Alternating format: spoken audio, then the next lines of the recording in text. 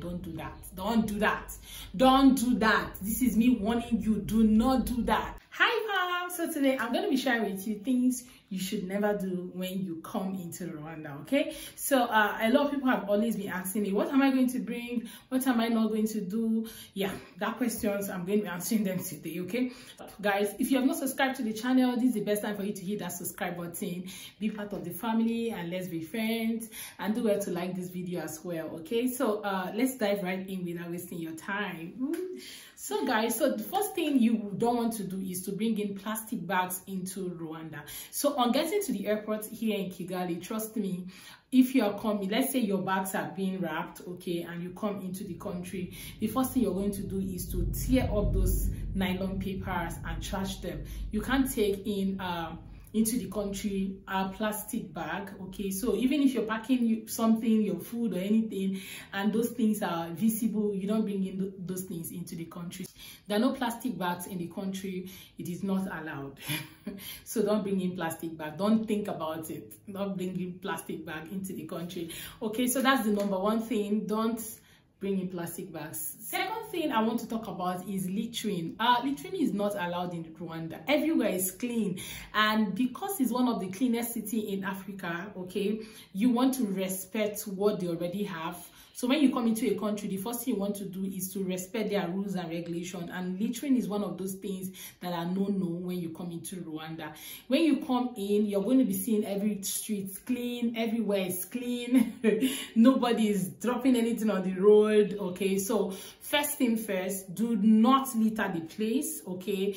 Uh, that must that might make you get into trouble so don't litter the place there are also uh dustbin points okay places you can dump your your your stuff okay on the road that places you can trash some things you can maybe you took you took water maybe a bottle water or something so after drinking you're looking for where to trash it there are actually places muster points on the streets of kigali that you can actually trash them in they are usually everywhere on the street of Kigali. You can find them anywhere. Okay, just look out for that. But if you can't, please, if you can't find any, it is very important that you put in your bag until you get to your house. So do not litter the streets.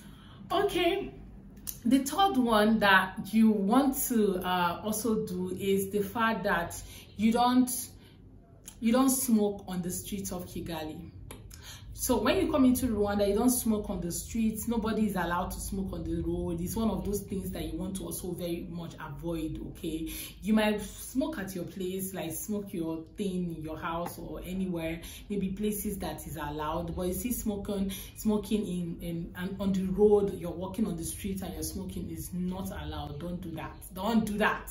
Don't do that. This is me warning you. Do not do that. Uh, the next thing I also want to talk about is walking on the flowers there are always places for pedestrians okay? Do not walk do not walk on the flowers. Hold your ear. Hold your ear. Do not walk on the flowers. Don't try it. Okay so Rwanda is already maintaining this culture of cleanliness and everywhere being green like green Rwanda right? You do not want to also come and damage what has already been built. So if you're coming into the country you want to respect that. Do not walk on the flowers okay? Do not walk on the flowers. Always use the pedestrian walkway. It's always there for you to walk on okay uh that's it. Okay so another point i want to talk about is the speed limit. So there's some people that you know because of where you're coming from you guys are already used to a particular speed limit. So but here in rwanda there are speed limits everywhere. So in kigali they have a particular speed limit. I think it's 50 or 60 okay i can't remember guys. I can't remember. So then outside of kigali they also have a particular speed limit that you want to also follow. Okay so don't come here and start driving 120 you might get yourself into trouble. And another thing i want to add there is that always obey the traffic light okay? There is always traffic light everywhere at every point. Always obey the traffic light. Do not try to you know try to navigate or yeah, exactly. Always maintain and obey the traffic light. If it's red stop. If it's yellow set. If it's green then move always obey the traffic lights okay? Another thing i want to also want to talk about is the fact that here in rwanda when people are crossing the road you have to wait for them. Yeah sometimes some motorists say it's annoying because some people are making calls and they're crossing the road. Leave them. That's the that's the rules. You don't actually uh try to, you don't you don't try crossing the road when you see people passing on the street okay? So you have to wait for them to pass then especially when they're using the this thing just let them cross okay? So once they're done you cannot go your way okay? You wait for them.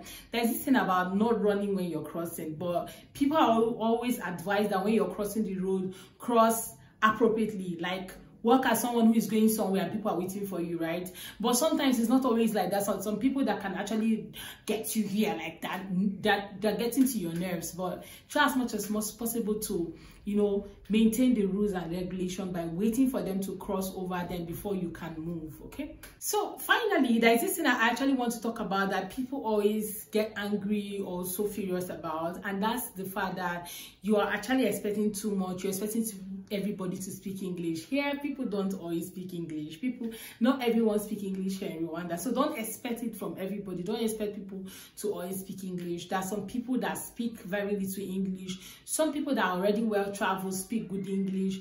Then this other set of people that don't even hear English at all. The only thing they hear might be come or go.